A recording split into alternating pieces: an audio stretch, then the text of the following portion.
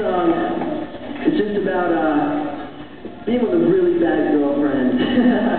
this is another one of my new songs that I just wrote. It's just about a girl that uh, was trying to push me around a little bit, and uh, it's a little more of an upbeat song, so uh, stand up, stand up.